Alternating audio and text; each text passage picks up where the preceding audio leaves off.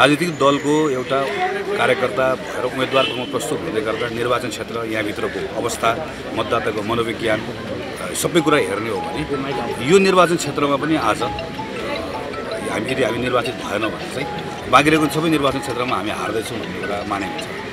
म त्यति विश्वस्त छु। तयारी सबै हिसाबले गर्दै गर्दा तर फेरि पनि के ठान्छु भने निर्वाचन भनेको चाहिँ सम्पूर्ण कुरा मतदाताको हातमा छ। उहाँहरूको हातमा छ। यहाँको मतदाताहरूले यो ठाउँको निर्वाचनको परिणाम यो दुई सय पचहत्तरजना संसदभित्रको सांसदमध्ये एउटा सांसद पठाउने होइन। यहाँको निर्वाचनको परिणामले नेपालको राजनीतिक वृत्तबाट लामो समय नेपाली जनताले अपेक्षा गरेको मुख्य नेतृत्वमा परिवर्तन गर्ने कुरा रूपान्तरण गर्ने कुरा पुस्तान्तरण गर्ने कुरा जोडिएको छ भन्ने कुरा एकदम राम्रोसँग बुझ्नु भएको छ। किनकि यो संसदीय व्यवस्था हो। मूलधारको राजनीतिक दलको नेतृत्वमा परिवर्तन नआइकन हामी मूल राजनीतिक नेतृत्व बदल्न सक्दैनौँ।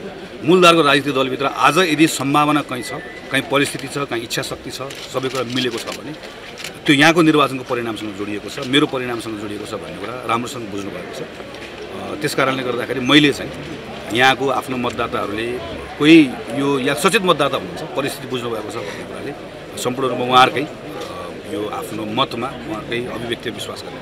मतदानको बेलामा जसरी मतदाताले आफूलाई मन लागेको कुरा जे गर्ने हो त्यो कुरा व्यक्त गरेको जस्तै उम्मेदवारले पनि मत माग्दै गर्दाखेरि आफ्नो कुरा प्रष्ट राख्नुपर्छ भन्ने ठान्छु म यहाँबाट निर्वाचित भएर जाँदै गर्दाखेरि म सांसदहरूको बिचको हुलमा गएर हुने एउटा सांसद मात्र बन्ने मेरो योजना छैन। वडाध्यक्ष वा मेयरको भूमिकामा जाने पनि मेरो इच्छा छैन। म विधायक हो।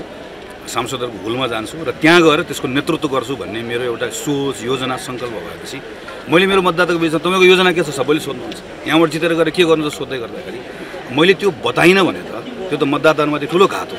त्यो बताउँदै गर्दा जोखिमहरू जोडेर आउँछ भनेर हिसाब किताब गरेर मतदाता ढाँट्ने काम गर्नु भएन। होइन मैले त्यो सोचेँ।